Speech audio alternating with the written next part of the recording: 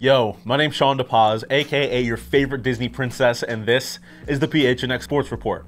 AOD book, you got anything to say to the haters? Wait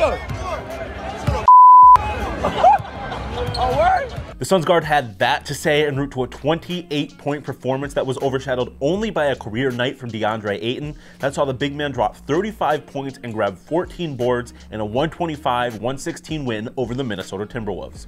Next stop for DA and company is tonight in Denver, where the Suns will look to clinch the NBA's best record and, more importantly, home court advantage through the playoffs with a win.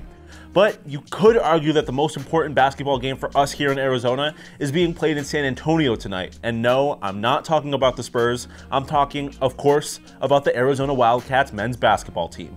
They are set to play the fifth seeded University of Houston Cougars in what many expect to be a closely contested game, including DraftKings, who has the first seeded Wildcats as just one and a half point favorites.